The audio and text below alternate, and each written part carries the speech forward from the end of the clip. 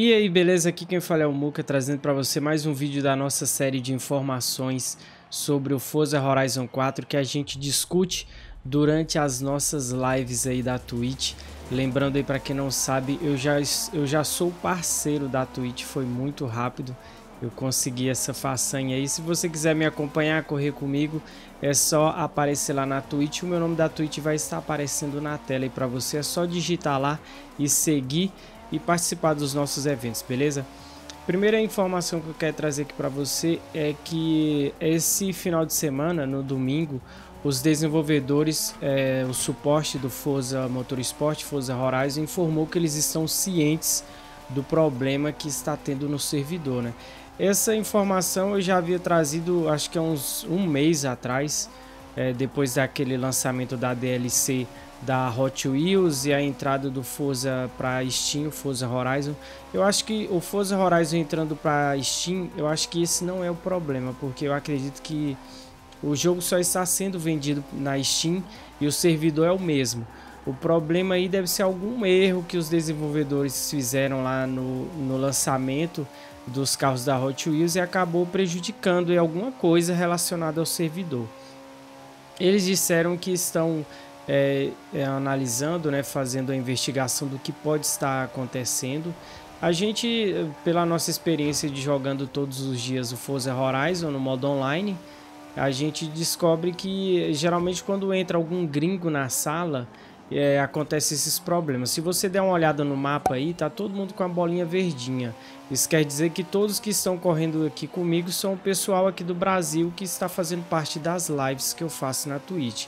Aí quando entra algum gringo, aí demora muito para carregar o modo online. Então eu acredito que é isso. Eu acho que eles vão investigar esse conflito que está tendo de, de servidor.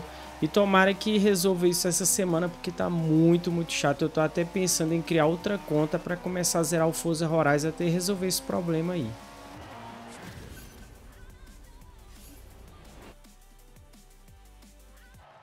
Vamos para mais uma corrida online aqui no Forza Horizon 4 e falar sobre mais um possível vazamento é, que revela que o Forza Horizon 5 vai ser lançado aí no mês de setembro. O pessoal quer muito o Forza Horizon 5 esse ano. Eu acho que quem merece ser lançado esse ano é o Forza Motorsport novo, porque o Forza Motorsport 7, para quem está jogando desde o lançamento, já está bem saturado ele saturou mais rápido do que o Forza Motorsport 6, Forza Motorsport 5. O 7 está muito saturado, cara. Precisa melhorar, mas assim, não tem como melhorar mais, né? Já tem muito tempo que não tem atualização, então eu acredito que um Forza Motorsport novo aí seria muito, muito bom. Acho que o Horizon 4 ainda consegue segurar a onda aí por muito tempo. Olha só, uma comunidade aí da Hot Wheels ela revelou três fotos de um Corvette, uma Mercedes e um Porsche.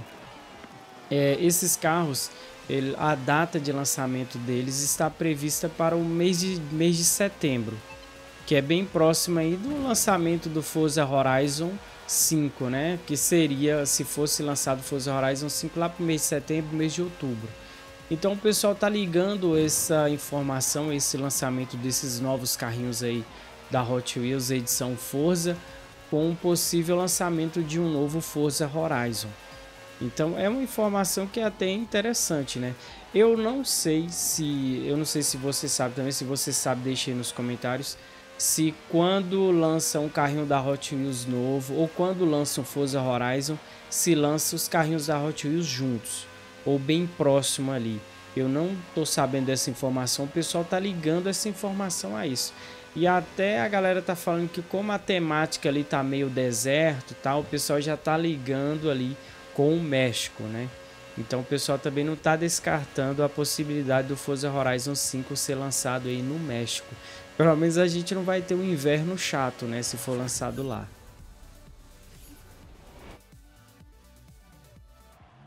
Vamos para mais uma corrida no modo online aqui no Forza Horizon 4 e eu vou passar a informação aqui que o pessoal compartilhou lá no Discord uma, uma reportagem aí do Windows Club que eu achei muito clickbait. Essa aí eu não engoli não, mano. Falando que o trailer do lançamento do Xbox Series X tem uma parte lá, vou mostrar a foto aí, que mostra um Koenigsegg andando no meio do nada, né?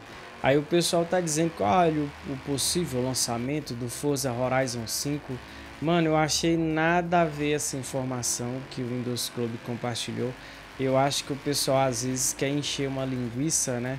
Aí eles inventam essas informações, nada a ver. Foi em 2019 o lançamento do Série X.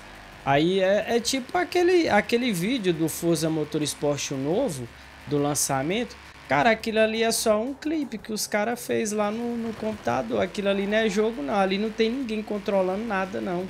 É só. É, é, é um clipe, apenas isso. E os caras falando que aquilo ali é tipo. O, o, tem a ver com o lançamento do Forza Horizon 5. Aí o pessoal já começa a comentar: Olha, foi no meio do nada que o, que o Koenigsegg tava passando ali. Eu acho que ali é o México, não é? Mano de Deus, tem uma galera que frita demais. Não pode acreditar em qualquer informação. Essa aí eu não engoli de jeito nenhum. Eu prefiro acreditar mais no rumor da Hot Wheels.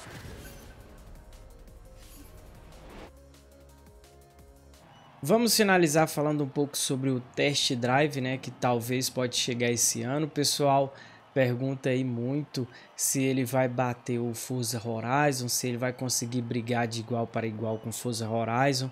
Na minha opinião, não dá pra gente saber, porque a gente tem um Need for Speed que sempre é lançado aí e é um jogo excelente em termos de customização, som de carro, mas na hora de jogar, a gente sabe que o jogo é, é ruim. Né?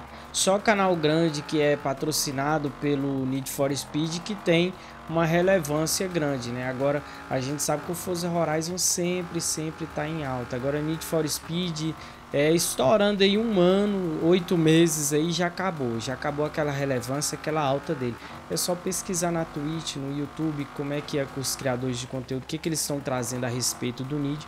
Você vai ver que tem pouca gente assistindo, pouca gente acompanhando já o Horizon lá em cima.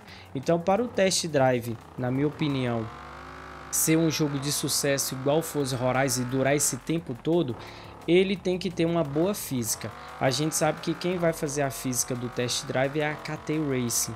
Ela desenvolveu, é, ela que é, faz a física para o V-Rally, WRC, é, Fórmula Truck, elas trabalham em conjunto com esses jogos. Se você já jogou algum desses jogos, seja sincero, o que, que você achou da física desses jogos? Deixe no comentário se é no mínimo aceitável. Eu achei o WRC, o, acho que eu joguei o 8. Eu gostei, achei uma física interessante sim. Pode ser que seja um jogo legal. Pode ser que tenha algumas modificações para deixar um pouco mais arcade, né? Porque esses jogos que eu falei aí são mais pro lado da simulação. Então, na minha opinião, o que, que vai determinar se vai ser um sucesso ou não vai ser a física, beleza? Até o próximo vídeo.